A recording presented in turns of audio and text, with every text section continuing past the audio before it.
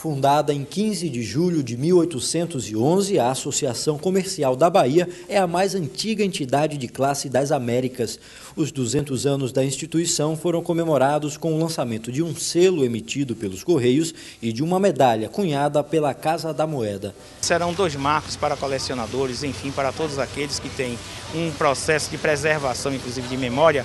Esses dois lançamentos serão importantíssimos, inclusive, para a cultura nacional. Nos próximos 200 anos, a gente possa, governos, empresários, trabalhadores e entidades, possamos ajudar a Bahia cada vez a ser uma terra melhor para a nossa gente, dando a eles uma inclusão social e cidadania.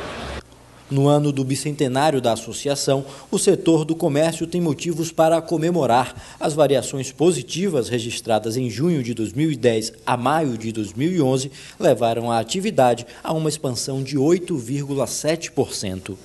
As exportações cresceram esse ano exponencialmente, quase 40%. Foi o maior crescimento das exportações no Brasil e o comércio reflete a pujança da economia. Nós estamos não só crescendo, mas crescendo de forma descentralizada, levando esse crescimento para o interior.